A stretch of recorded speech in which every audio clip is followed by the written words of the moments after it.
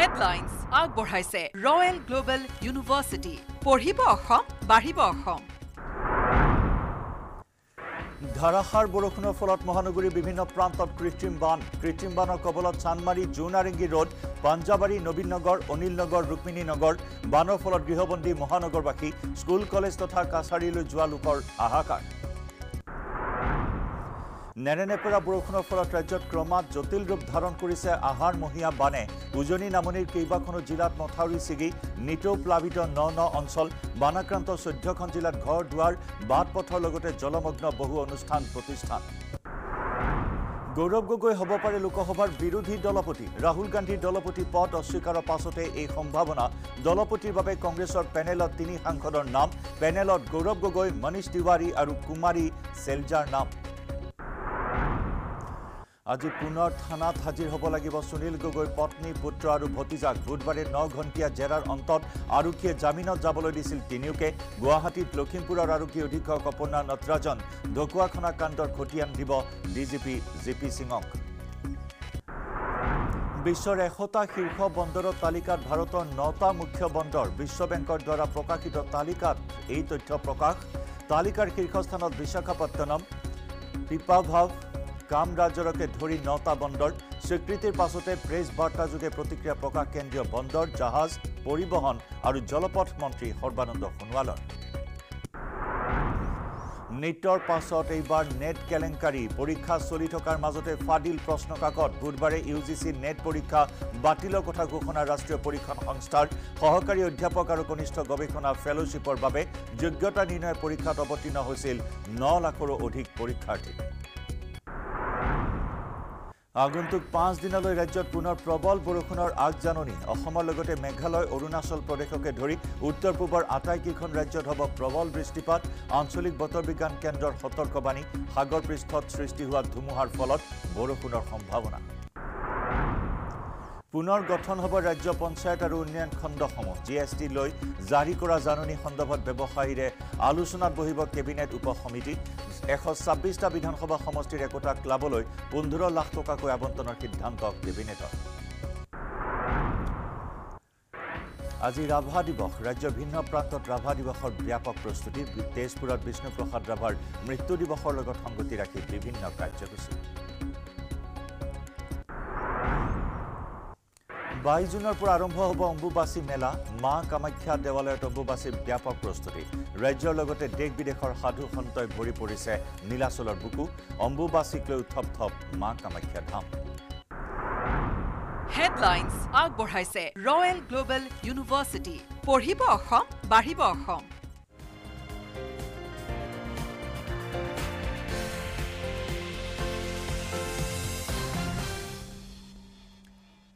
নমস্কাৰ সুপ্ৰভাত। আপুনি চাই আছে news eighteen Assam north east এয়া গুড মৰ্ণিং এইটিন মই জয়ন্ত মাধৱ গোস্বামী। গুড মৰ্ণিং এইটিনৰ প্ৰথমতে জনাওঁ এটা দুৰ্ঘটনাৰ খবৰ। শিৱসাগৰৰ দৰিকাপাৰৰ চাৰিলেনযুক্ত পথত সংঘটিত হৈছে এই ভয়ংকৰ দুৰ্ঘটনা। ভয়ংকৰ দুৰ্ঘটনাত দুজন যুৱকৰ মৃত্যু হৈছে। এখন তীব্ৰবেগী চাৰিচকীয়া বাহনে মহতিয়াই লৈ যায় দুই যুৱকক। পথৰ কাষত বহি থাকোঁতেই মহতিয়াই লৈ যায় যুৱক দুজনক। যুৱক দুজনক খুন্দা মাৰি ডিভাইডাৰত খুন্দা মাৰে বাহনখনে। বাহনখনত থকা দুই যুৱকো গুৰুতৰভাৱে আহত। চিকিৎসাধীন অৱস্থাত মৃত্যু হয় দুজন যুৱকৰ। এটা ভয়ংকৰ পথ দুৰ্ঘটনা। শিৱসাগৰত দৰিকাপাৰত সংঘটিত হৈছে চাৰিলেনযুক্ত পথত সংঘটিত হৈছে এই দুৰ্ঘটনা। দুৰ্ঘটনাৰ দৃশ্য দেখুৱাইছোঁ। সম্পূৰ্ণৰূপে বিধ্বস্ত হৈ পৰিছে চুৰমাৰ হৈ পৰিছে।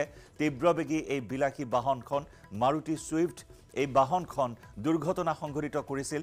দুই যুৱকক মহতিয়াই লৈ এখন এটা ডিভাইডাৰত খুন্দা মাৰিছিল এই তীব্ৰবেগী বাহনখনে আৰু যাৰ পৰিণতিত দুজন যুৱকৰ মৃত্যু হৈছে। এই তীব্ৰবেগী চাৰিচকীয়া মাৰুতি ছুইফ্ট বাহনখনে মহতিয়াই লৈ যায় দুই যুৱকক। পথৰ কাষত বহি থাকোঁতেই মহতিয়াই নিয়ে যুৱক দুজনক। যুৱক দুজনক খুন্দা মাৰি ডিভাইডাৰত খুন্দা মাৰে বাহনখনে। বাহনখনত থকা দুই যুৱকো গুৰুতৰভাৱে আহত হৈছে। ইফালে চিকিৎসাধীন অৱস্থাত দুই যুৱকে মৃত্যুক সাৱটি লয়। শিৱসাগৰৰ পৰা আমাৰ সাংবাদিক প্ৰদীপ গগৈৰ সৈতে সংযুক্ত হৈছোঁ। প্ৰদীপ এটা ভয়ংকৰ পথ দুৰ্ঘটনা। সবিশেষ আপোনাৰ পৰা জানিব বিচাৰিম।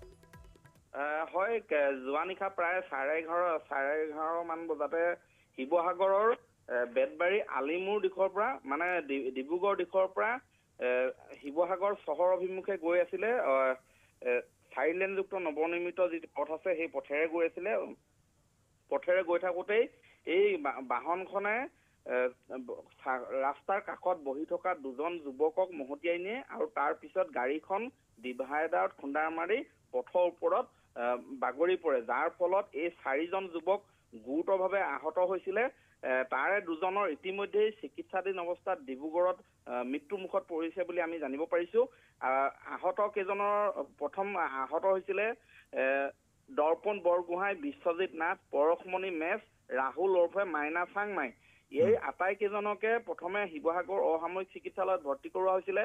তাৰপিছত ডিব্ৰুগড়লৈ তেওঁলোকক স্থানান্তৰ কৰা হৈছিলে উন্নত চিকিৎসাৰ বাবে। কিন্তু ডিব্ৰুগড়ৰ নাৰ্ছিং হোমত চিকিৎসাধীন অৱস্থা নাৰ্ছিং হোম নিয়াৰ পিছ পিছ মুহূৰ্ততে পৰশমণি মেচ আৰু ৰাহুল চাংমাই নামৰ যুৱকজনৰ মৃত্যু হয়। আৰু বাকী দুজন ডিব্ৰুগড় অসামৰিক চিকিৎসালয়ত সংকটজনক অৱস্থাত বৰ্তমান চিকিৎসাধীন হৈ আছে। এই আটাইকেইজনৰ ঘৰ শিৱসাগৰ বেতবাৰী মৌজাত এই যি দুজন ইতিমধ্যেই নিহত হৈছে তেওঁলোকৰ ঘৰো পৰশমণি মেচ আৰু ৰাহুল চাংমাই যি দুজনৰ ইতিমধ্যেই মৃত্যু মৃত্যু হৈছে তেওঁলোকৰ ঘৰো শিৱসাগৰ বেতবাৰীত। এ, লক্ষণীয় কথাটো হ'ল জয়ন্ত এই যি আচলতে A S two three N double two five four যিখন চাৰিচকীয়া বাহনে আচলতে এই দুৰ্ঘটনাটো সংঘটিত কৰিলে বা দুৰ্ঘটনাটো পতিত হৈছিলে এই গাড়ীখন চলাই নিছিলে অপজিট চাইডে আচলতে যিটো চাইডত গাড়ীখন সাধাৰণতে চলাব নালাগে লেফ্ট চাইডত সাধাৰণতে গাড়ীখন যাব লাগিছিলে কিন্তু যিহেতু চাৰিলেনযুক্ত পথটো দুটা ভাগত ভাগ কৰি থোৱা থাকে আৰু ই অপজিট চাইডত আচলতে সোঁ দিশৰ পৰা এই গাড়ীখন তীব্ৰ বেগেৰে গৈ আছিলে যিটো উল্টা দিশত গৈ আছিলে যিটো দিশত আচলতে যাব নালাগিছিলে। আৰু যাৰ ফলত আচলতে এনেধৰণৰ ঘটনা পূৰ্বতেও সংঘটিত হৈছে যিহেতু অপজিট দিশত গাড়ীখন যিহেতু বাওঁফালে আচলতে সাধাৰণতে সকলোৱে গাড়ী বাহন বাওঁফালে লৈ চলাই নিয়ে কিন্তু তেওঁ সোঁফালৰ যিটো ৰাস্তা বনাই থোৱা আছিলে সেই ফালৰ পৰা তেওঁ আহি আছিলে যিটো আচলতে আহিব নালাগিছিলে। কিন্তু এয়া যিয়ে নহওক সঁচাকৈ এটা অতি ভয়ংকৰ দুৰ্ঘটনা সংঘটিত হ'ল যোৱা নিশা। শিৱসাগৰৰ দৰিকাপাৰৰ সেই সাতত্ৰিশ নং ৰাষ্ট্ৰীয় ঘাইপথ আহ, প্ৰদীপ প্ৰদীপ ইতিমধ্যে চাৰিজন যুৱকৰ নাম আপুনি জনাইছে তেওঁলোকৰ পৰিচয় লাভ কৰা হৈছে। নিশা এঘাৰ বজাত এই দুৰ্ঘটনা সংঘটিত হৈছে। আমি জানিব বিচাৰিম প্ৰদীপ যে যি দুজন যুৱকৰ মৃত্যু হ'ল সেই দুজন এই বাহনখনৰ আৰোহী আছিল নে বহি থকা যুৱক দুজন? এ তেওঁলোক বহি থকা যুৱক বুলি কৈছে গাড়ীখনৰ বাহিৰত তেওঁ- তেওঁলোকে পৰি আছিলে ৰাস্তাত। আৰু এতিয়ালৈকে নিশ্চিত জানিব পৰা হোৱা নাই যদিও যি তথ্য লাভ কৰা হৈছে কিন্তু তেওঁলোকৰ যি গাড়ীখন যি মহতিয়াই নিছিলে তাৰ ভিতৰতে এই যুৱক দুজন আছিলে বুলি বৰ্তমান জানি পোৱা গৈছে। কিন্তু পৰৱৰ্তী সময়ত আমি সবিশেষ খবৰ লাভ কৰিম। কিন্তু বাকী দুজনৰ অৱস্থাও বৰ্তমান সংকটজনক। আৰু এই এ, চাৰিজন যুৱককে মই পুনৰ কৈছো প্ৰথম শিৱসাগৰ অসামৰিক চিকিৎসালয়লৈ ততাতৈয়াকৈ লৈ যোৱা হৈছিলে। তাৰপিছত তেওঁলোকক আঘাত অতি যিহেতু গুৰুতৰ আছিলে ততাতৈয়াকৈ পুনৰ ডিব্ৰুগড় স্থিত ডিব্ৰুগড়লৈ উন্নত চিকিৎসাৰ বাবে প্ৰেৰণ কৰা হৈছিলে আৰু তাতে এই দুজন যুৱকৰ পৰশমণি মেচ আৰু ৰাহুল চাংমাই ওৰফে মাইনা চাংমাই মৃত্যু মৃত্যু হৈছে জয়ন্ত প্ৰদীপ ইয়াৰ পূৰ্বে এনে অনেক দুৰ্ঘটনা সংঘটিত হৈছে। বিশেষকৈ শিৱসাগৰৰ চাৰিলেনযুক্ত ৰাষ্ট্ৰীয় ঘাইপথৰ যদি কথা কোৱা হয় আপুনি প্ৰায়ে বাতৰি প্ৰস্তুত কৰিছে। আমি প্ৰতিবেদন সম্প্ৰচাৰ কৰিছোঁ আপুনি প্ৰস্তুত কৰা সেই প্ৰতিবেদন য'ত নেকি ৰাষ্ট্ৰীয় ঘাইপথৰ দুৰৱস্থা। সেই দুৰৱস্থাৰ বাবে বিভিন্ন ধৰণৰ দুৰ্ঘটনা সংঘটিত হৈছে। কালি নিশা যি দুৰ্ঘটনা সংঘটিত হ'ল আপুনি জনাইছে যে ভুল দিশৰ পৰা গৈ আছিল এই ছুইফ্ট বাহনখন। ক'ৰবাত তেনেকুৱা কিবা বিসংগতি আছিল নেকি? ৰাষ্ট্ৰীয় হয়, ঘাইপথত জয়ন্ত যিবিলাক আচল চাৰিলেনযুক্ত পথটো যিহেতু সম্পূৰ্ণ হৈ উঠা নাই দুশ মিটাৰ বনাইছে কৰবাত দুশ মিটাৰ পিছতে আকৌ আন দিশত ডাইভাৰচন দি থোৱা আছে।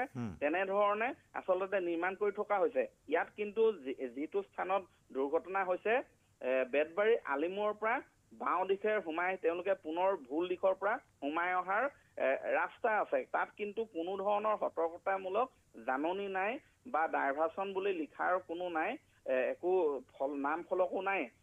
সেই দিশেৰে আচলতে ভুল দিশেৰে সোমাই দিয়ে। সোমাই আহি দুশ প্ৰায় পাঁচশ মিটাৰ ৰাস্তা আকৌ ভাল ৰাস্তা পায়। তাৰপিছতে পুনৰ পুনৰ অৰ্ধ নিৰ্মিত হৈ থকা কেঁচা ৰাস্তা আছে।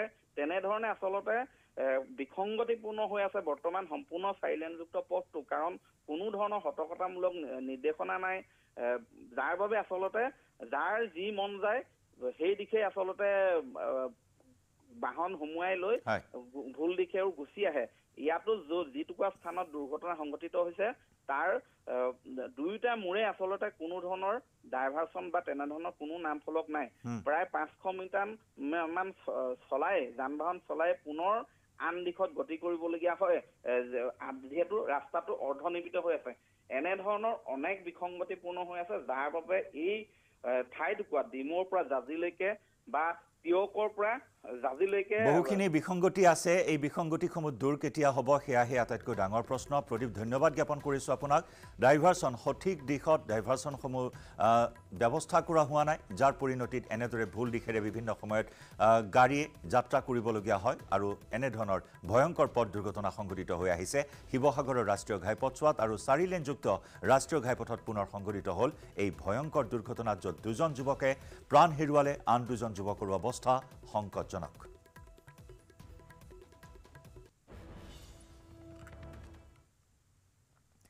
মহানগৰীত কৃত্ৰিম বানৰ তাণ্ডৱ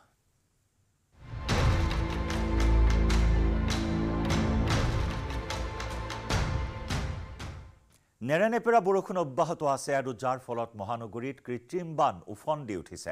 মহানগৰীৰ বিভিন্ন প্ৰান্তত কৃত্ৰিম বানে জ্বলা কলা খুৱাইছে। সৰ্বসাধাৰণ জনতাক নিশাৰ বৰষুণত পুনৰ ডুবিছে মহানগৰীৰ বহু অঞ্চল। চান্দমাৰী জোৰড ৰুক্মিণী গাঁও হাতীগাঁও শিলপুখুৰী অনিল নগৰ নবীন নগৰ ৰাজগড় পাঞ্জাবাৰী বেলতলা কাহিলীপাৰাকে ধৰি বহু অঞ্চল কৃত্ৰিম বানত বুৰ গৈ আছে। ঠায়ে ঠায়ে ব্যস্ত ৰাজপথত একাঁঠু পৰ্যন্ত পানী হৈছে। পুৱাই কৰ্মস্থলী তথা বিদ্যালয়লৈ ওলাই আহি হাহাকাৰ অৱস্থাৰ সৃষ্টি হৈছে মহানগৰবাসীৰ।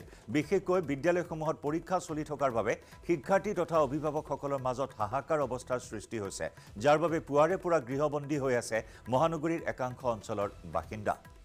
আৰু এনেদৰে ধাৰাবাহিক কৃত্ৰিম বানে প্ৰশাসনত পৰিণত কৰিলে চৰকাৰৰ মিছন ফ্লাড ফ্ৰী অভিযান। ঠায়ে ঠায়ে ব্যস্ত ৰাজপথত একাঁঠু পৰ্যন্ত পানী জমা হোৱা যাতায়াতৰ ক্ষেত্ৰত ভীষণ সমস্যাৰ সন্মুখীন হৈছে মহানগৰবাসীয়ে চাওক কেনেদৰে বাইক ঠেলি ঠেলি পাৰাক পাৰ কৰিবলগীয়া অৱস্থা হৈছে। এয়া স্কুল কলেজলৈ ওলাই আহিছে ছাত্ৰ ছাত্ৰীসকল শিক্ষানুষ্ঠানলৈ ওলাই আহিছে ছাত্ৰ ছাত্ৰীসকল এতিয়া বাইক ঠেলিবলগীয়া হৈছে। ছাত্ৰ ছাত্ৰীয়ে বাইক ঠেলি বিদ্যালয়মুখী হ'বলগীয়া হৈছে। তাতে আকৌ বিদ্যালয়ত পৰীক্ষা চলি আছে। এককাল পৰ্যন্ত পানী হৈছে মহানগৰীৰ ব্যস্ত ৰাজপথত। আৰু যাতায়াতৰ ক্ষেত্ৰত পুৱাৰে পৰা চৰম দুৰ্ভোগৰ সন্মুখীন হৈছে মহানগৰবাসীয়ে। সতীৰ্থ সাংবাদিক হীৰকজ্যোতি মালাকৰৰ সৈতে সংযুক্ত হৈছোঁ। হীৰক কোনটো প্ৰান্তত আছে? আপুনি কেনেকুৱা কৃত্ৰিম বান পৰিস্থিতি? আচলতে যোৱা কিছুদিনৰ ধৰি যিহেতু মুখলধাৰ বৰষুণৰ ফলত গুৱাহাটী মহানগৰী এটা পিছত আনটা যি অঞ্চল আছে সেই অঞ্চল প্লাৱিত হোৱা দেখিবলৈ পোৱা গৈছে। আৰু এই মুহূৰ্তত মই অনিল নগৰত উপস্থিত আছোঁ। অনিল নগৰ পূৰ্বৰ দৰে একে পৰিস্থিতি দেখিবলৈ পোৱা গৈছে। আৰু বিগত কেইবাদিন ধৰি যি বান পৰিস্থিতি বান পৰিস্থিতি পৰিস্থিতি এনেদৰে থকা দেখিবলৈ পোৱা গৈছে। আৰু দেখিব আপুনি আহ, যি বে- পথ চোৱা ৰাষ্ট্ৰীয় সংযোগী যিটো পথ আছে সেই পথটোত এতিয়া এককাল পানী বুলি ক'ব লাগিব। কেৱল যিসমূহ ৰিক্সা আছে সেই ৰিক্সাসমূহে অহা যোৱা কৰিছে। আৰু ৰিক্সাসমূহত যিসকল লোক আচলতে অহা যোৱা কৰে বা যিসকল লোকে তেওঁলোকৰ যিটো সচৰাচৰ যি পুৱাৰ ভাগত পুৱাৰ ভাগত যিহেতু অফিচ কাছাৰী অথবা যিসকল ছাত্ৰ ছাত্ৰী বিদ্যালয়লৈ যায় সেই বিদ্যালয় বিদ্যালয়লৈ যোৱা ছাত্ৰ ছাত্ৰীসকলৰ বা অফিচ কাছাৰীলৈ যোৱা যিসকল লোক আছে সেই লোকসকলৰ মূল আহিলা হিচাপে এই ৰিক্সাখন দেখিবলৈ পোৱা গৈছে। আৰু আপুনি দেখিছে যে এই যি পানী এই পানী বিগত দুইৰ পৰা তিনিদিন ধৰি এনেদৰেই আহ, এনেদৰে এনেদৰে পানী আছে অনিল নগৰবাসী অনিল নগৰ অঞ্চলত। আৰু অনিল নগৰ নহয় নবীন নগৰ লগতে চা- চান্দমাৰী বা আপুনি ৰাজগড় যি কথা ক'ব যায় বা শিলপুখুৰীৰ কথা কথা ক'ব যায় তেন্তে একেই পৰিস্থিতি দেখিবলৈ পোৱা গৈছে। আৰু এই মুহূৰ্তত দেখিছে আপুনি সেই দৃশ্য দেখাই আছোঁ অনিল নগৰৰ পৰা এই দৃশ্য দেখাই আছোঁ। আৰু অনিল নগৰ এই এই বান যিহেতু পূৰ্বে চৰকাৰে বিভিন্ন ধৰণৰ প্ৰতিশ্ৰুতি দিছিল কিন্তু প্ৰতিশ্ৰুতি দিয়াৰ পিছতো এই বানৰ কোনো ধৰণৰ কোনো ধৰণৰ আচলতে চলিউশ্যন নোলালে বুলি ক'ব লাগিব। আৰু যিহেতু মিছন ফ্লাড ফ্ৰীৰ কাৰণে গুৱাহাটী মহানগৰী জি এম চিকে হওক বা গুৱাহাটী উন্নয়ন দপ্তৰৰ মন্ত্ৰী অশোক সিংহালে এখনৰ পিছত আঠখন বৈঠক কৰিছিল। কিন্তু বৈঠক কৰাৰ পিছতো একেই পৰিস্থিতি বা একেই ধৰণৰ পৰিৱেশ দেখিবলৈ পোৱা গৈছে। এই মুহূৰ্তত যিহেতু অনিল নগৰ বাকী আছে তেওঁ বাকী লোক আছে তেওঁলোকৰ সৈতে আমি কথা পাতিম। একেই পৰিস্থিতি আছে। চৰকাৰে আপোনালোকক প্ৰতিশ্ৰুতি দিয়ে কিন্তু কোনো ধৰণৰ চলিউশ্যন নোলায়। আৰু তিনিদিন ধৰি বান পৰিস্থিতি বান পৰিস্থিতি একেই আছে ইয়াতে। এক বিভীষিকাময় পৰিস্থিতি। এক একদম একদম ক্ৰুচিয়েল আমাৰ সময়। এনেকুৱা অৱস্থাত আমি পৰিছোঁ এতিয়া। আপুনি না আপুনি খাব পাৰিছে না থাকিব পাৰিছে। এতিয়া স্কুল কলেজ আছে অফিচ কাছাৰী আছে স্কুলৰ পৰীক্ষা আছে ল'ৰা ছোৱালী কেনেকৈ যাব? কৰ্ম সংস্কৃতি কেনেকৈ বজাই ৰাখিব? আমি বাৰম্বাৰ কৈছিলোঁ যে আমাক ডাইভাৰ্চন লাগে। এই অনিল নগৰ নবীন নগৰৰ পানী নহয়। এয়া বাহিৰৰ পৰা বৈ অহা পানী। আমাক এইটো নকৰিলে। আজি পোন্ধৰ বিছ বছৰ ধৰি আপোনালোকৰ টিভি চেনেলৰ যোগেদি আমি বাৰম্বাৰ জনাই আছোঁ। এই একেই পৰিস্থিতি আজি তিনিদিন হ'ল। বান পৰিস্থিতি অৱৰ্ণনীয় অৱস্থা বান পৰিস্থিতিৰ কোনো আমাৰ এতিয়া উন্নতি হোৱা নাই। আৰু চবতকৈ ডাঙৰ কথা প্ৰশাসনৰ কোনো মানুহক এতিয়ালৈ দেখা নাই। আমি বিচাৰিছোঁ ইয়াতে ফ্ৰী ৰিক্সা দিব লাগে স্কুল কলেজৰ এই ছাত্ৰ ছাত্ৰীখিনিক অনা নিয়াৰ কাৰণে ভীষণ কষ্ট হৈছে সেইকাৰণে প্ৰশাসনক মই অনুৰোধ জনাম একে সিংহল মহোদয়। আৰু মৃগেন ধৰণে মহোদয় অতি সোনকালে আপোনালোকে ফ্ৰী ৰিক্সাৰ ব্যৱস্থা কৰক আৰু অহা যোৱাৰ কাৰণে এই কি কণ কণ ল'ৰা ছোৱালীৰ পৰীক্ষা আছে তেওঁলোকৰ কাৰণে কিবা এটা ভাবক আৰু লগতে N D R F S D R IFFCO ইয়াত আহিবলৈ মই N D A N D A S D F কোনো ধৰণৰ অহা নাই নেকি? আপোনালোকৰ ইয়ালৈ। যিহেতু আগতে দেখিবলৈ পোৱা যায় যে বানপানী হ'লে N D F S D F এইবাৰ অহা নাই নেকি? আটাইতকৈ দুখৰ কথা এইবাৰ কাকো দেখা পোৱা নাই। না প্ৰশাসনৰ মানুহ দেখিছো না আপোনাৰ কোনো S D R F S D R এফৰ মানুহ দেখিছো। এইটো এটা সাংঘাতিক ধৰণৰ আমাৰ এটা এটা বিপৰ্যয় আমাৰ। এই বিপৰ্যয়ত তেওঁলোক আহিব লাগিছিল অন্ততঃ প্ৰশাসনৰ মানুহ আহিব লাগিছিল আৰু আমাক চাব লাগিছিল আৰু ফ্ৰী ৰিক্সা দিব লাগে। মৃগেন ধৰণে মহোদয় আপুনি এ চি ৰুমত বহি থাকিলে নহয়। আপুনি চাওক আমাক আৰু আপুনি ফ্ৰী ৰিক্সাৰ ব্যৱস্থা কৰক ইমিডিয়েট এতিয়াই। পানী কিমান দিনৰ পৰা আছে এনেদৰে? হয় হয় একদম আজি তিনিদিন হ'ল।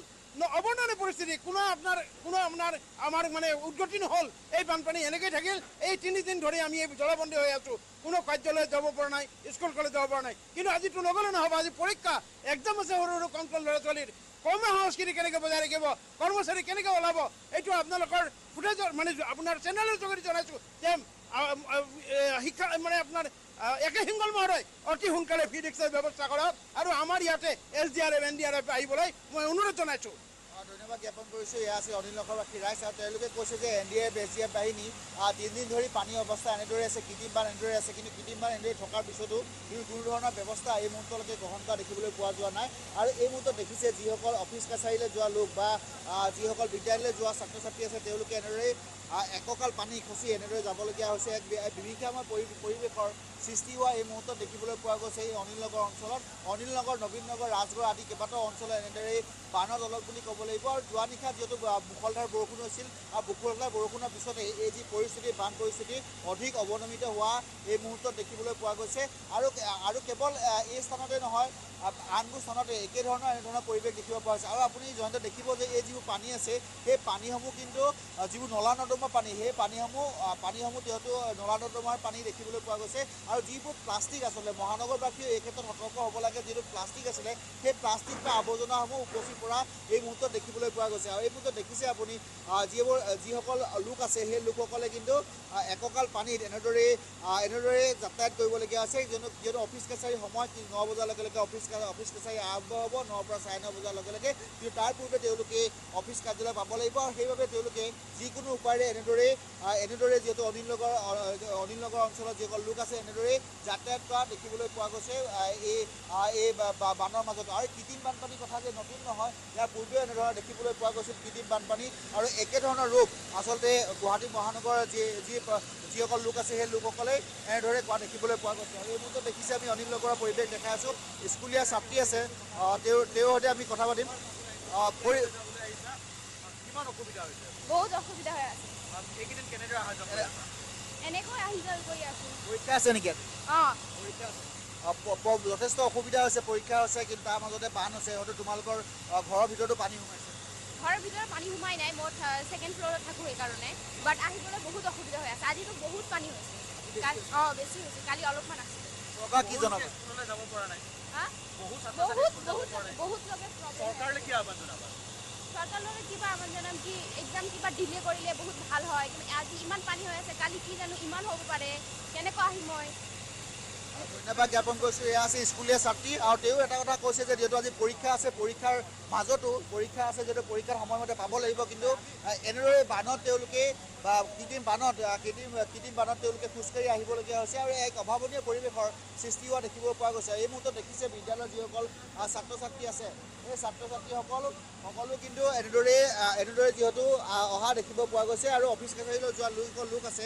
সেই লোকসকলো একঁকাল পানীত এনেদৰে আহিবলগীয়া হৈছে আৰু অনিল নগৰ নবীন নগৰ এই অঞ্চলত কিন্তু এনেদৰে যদি চৰকাৰে কোনো ধৰণৰ ব্যৱস্থা গ্ৰহণ নকৰে তেন্তে যিহেতু বতৰ বিজ্ঞান কেন্দ্ৰই কৈছে যে আগন্তুক পাঁচদিনলৈকে বৰষুণ চলি থাকিব।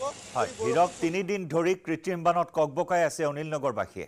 এনেদৰে একাকাৰ হৈ পৰিছে নলা নৰ্দমা অনিল নগৰৰ বাট পথ অনিল সাগৰত পৰিণত হৈছে আৰু এনেদৰে এতিয়া দুৰ্ভোগ ভুগিবলগীয়া হৈছে কিন্তু প্ৰশাসনৰ কোনো বৰমূৰীয়াই খবৰ লোৱা নাই কৃত্ৰিম বানত আক্ৰান্ত লোকসকলৰ। স্কুল কলেজলৈ ওলাই অহা ছাত্ৰ ছাত্ৰীসকলে এইখিনি মুহূৰ্তত চৰম দুৰ্ভোগৰ সন্মুখীন হৈছে কাৰণ পৰীক্ষা চলি আছে। ধন্যবাদ হীৰক।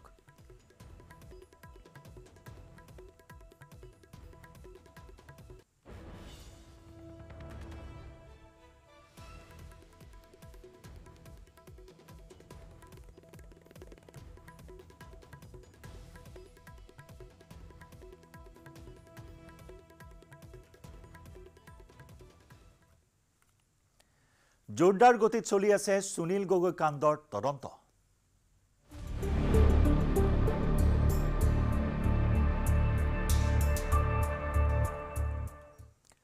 ঢকুৱাখনাৰ সুনীল গগৈ কাণ্ডক লৈ আৰক্ষীৰ ক্ষীপ্ৰ তদন্ত আৰু আজি পুৱা দহ বজাত পুনৰ আৰক্ষী থানাত হাজিৰ হোৱাৰ নিৰ্দেশ দিয়া হৈছে সুনীল গগৈৰ পত্নী পুত্ৰ আৰু ভতিজাকক।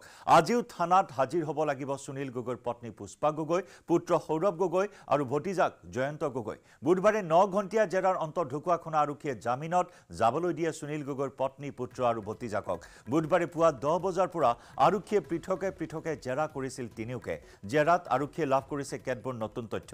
জেৰাৰ সময়তে আৰক্ষীয়ে সুনীলৰ পুত্ৰ সৌৰভ গগৈক লৈ অভিযান চলাই সুনীল গগৈৰ ঘৰত ঘৰৰ চৌহদত থকা শ্ৰমিকৰ কোঠাটোত অভিযান চলাই আৰক্ষীয়ে।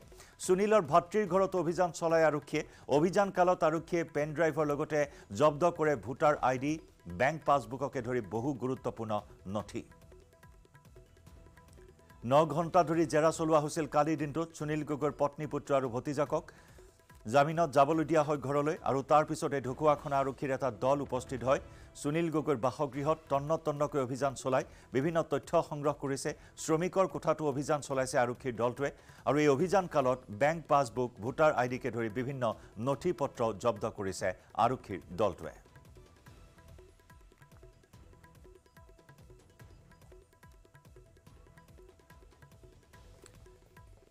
ইতিমধ্যে জামিনবিহীন কেইবাটাও ধাৰাত গোচৰ ৰুজু কৰা হৈছে সুনীল গগৈ আৰু পৰিয়ালৰ বিৰুদ্ধে যিকোনো মুহূৰ্তত গ্ৰেপ্তাৰ কৰা হ'ব পাৰে।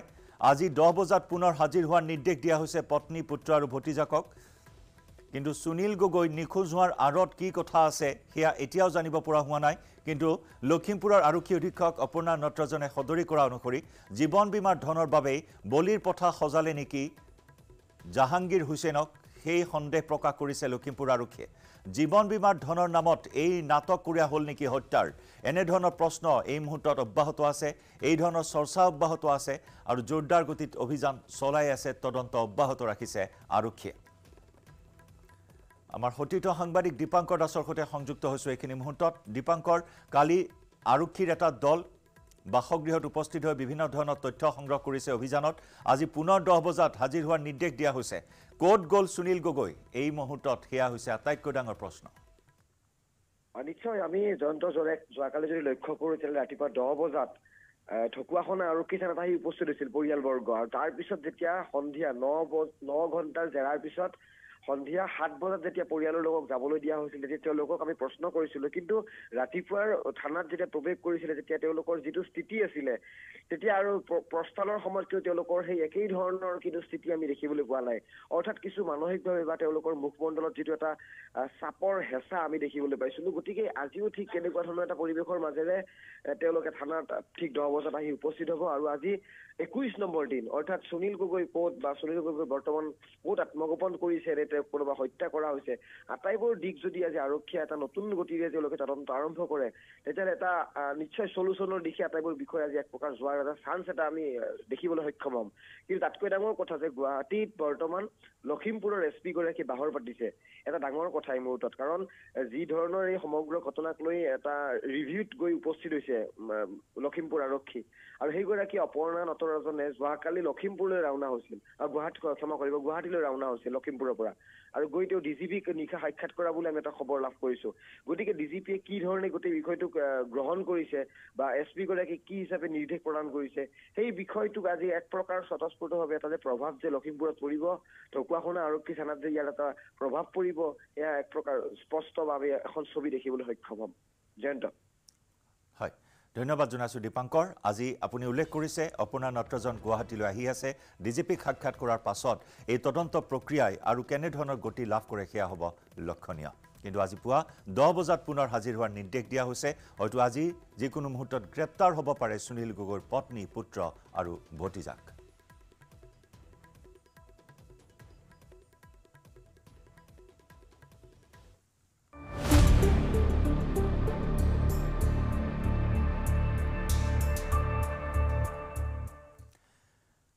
ইতিমধ্যে আমি উল্লেখ কৰিছোঁ গুৱাহাটীত লখিমপুৰৰ এছ পি অপৰ্ণা নটৰাজন ঢকুৱাখনা কাণ্ডৰ ৰিভিউ লৈ গুৱাহাটীত উপস্থিত হৈছে এছ পিগৰাকী বুধবাৰে D G P G P সিঙক সাক্ষাৎ কৰিব সাক্ষাৎ কৰে লখিমপুৰৰ আৰক্ষী অধীক্ষকগৰাকীয়ে সমগ্ৰ ঘটনাৰ ওপৰত আৰক্ষী সঞ্চালক প্ৰধানগৰাকীৰে আলোচনা কৰে অপৰ্ণা নটৰাজনে। ঘনে ঘনে সলনি হৈছে ঢকুৱাখনা কাণ্ডৰ পাক। পুনৰ জনাইছোঁ এছ পি অপৰ্ণা নটৰাজনে সাক্ষাৎ কৰে গুৱাহাটীত D G P G P সিঙক সমগ্ৰ ঘটনাৰ ওপৰত আৰক্ষী সঞ্চালক প্ৰধানগৰাকীৰে আলোচনা কৰে। ঘনে ঘনে এনেদৰে সলনি হৈছে ঢকুৱাখনা কাণ্ডৰ পাক। আৰু কি ধৰণৰ তথ্য লাভ কৰা হৈছে এই ঘটনাত কি ক্লু লাভ কৰা হৈছে ইয়াৰ কেনেকুৱা ধৰণৰ সম্ভাৱনীয়তা আছে সকলো কথা আৰক্ষী সঞ্চালক প্ৰধানৰ সৈতে আলোচনা কৰিছে। লখিমপুৰৰ আৰক্ষী অধীক্ষক অপৰ্ণা নটৰাজনে।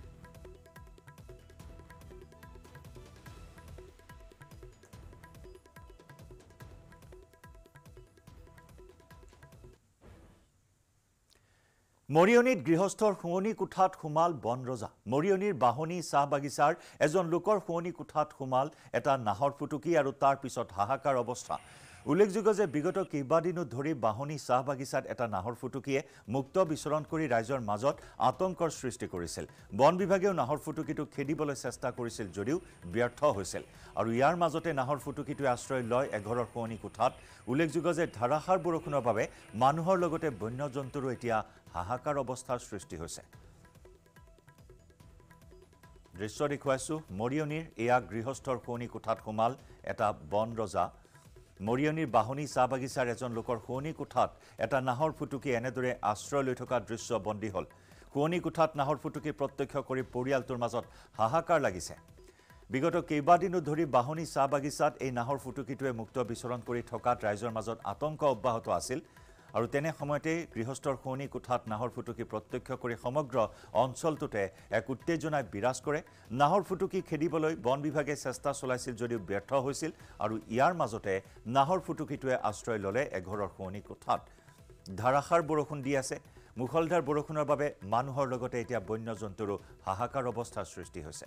এফালে খাদ্যৰ সন্ধান আৰু আনফালে প্ৰতিকূল বতৰৰ বাবে শোৱনি কোঠা পালেগৈ নাহৰ ফুটুকী।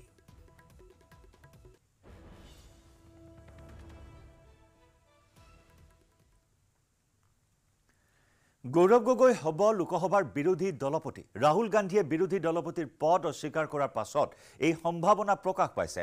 বিৰোধী দলপতিৰ বাবে কংগ্ৰেছৰ পেনেলত আছে তিনি সাংসদৰ নাম। গৌৰৱ গগৈ মনীষ তিৱাৰী আৰু কুমাৰী চেলজা। কুমাৰী চেলজা হাৰিয়ানাৰ কংগ্ৰেছৰ মুখ্যমন্ত্ৰী পদৰ প্ৰাৰ্থী হোৱাৰ সম্ভাৱনা আছে। মনীষ তিৱাৰীতকৈ লোকসভাৰ অভিজ্ঞতাৰ দিশত আগবাঢ়ি আছে গৌৰৱ গগৈ আৰু সেইফালৰ পৰা গৌৰৱ গগৈ হ'ব পাৰে বিৰোধী দলপতি। ৰাহুল গান্ধীয়ে বিৰোধী দলপতিৰ পদ অস্বীকাৰ কৰাৰ পাছত এই সম্ভাৱনা এতিয়া বৃদ্ধি পাইছে। বিৰোধী দলপতিৰ বাবে কংগ্ৰেছৰ পেনেলত আছে তিনিগৰাকী সাংসদৰ নাম। গৌৰৱ গগৈ মনীষ তিৱাৰী আৰু কুমাৰী চেলজা।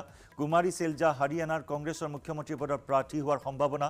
একেদৰে মনীষ তিৱাৰীতকৈ লোকসভাৰ অভিজ্ঞতাৰ দিশত আগবাঢ়ি আছে গৌৰৱ গগৈ কাৰণ ইয়াৰ পূৰ্বে গৌৰৱ গগৈ লোকসভাৰ উপদলপতি আছিল বিৰোধীৰ উপদলপতি আছিল গৌৰৱ গগৈ। আৰু সেই মৰ্মে গৌৰৱ গগৈৰ সম্ভাৱনাই অধিক বিৰোধীৰ দলপতি হোৱাৰ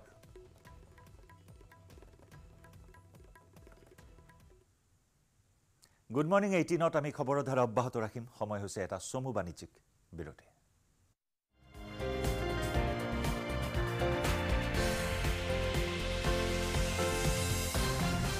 এইটো মাইথান ষ্টীল নহয়। অ ওচৰ চুবুৰীয়াসকলে লগাইছে।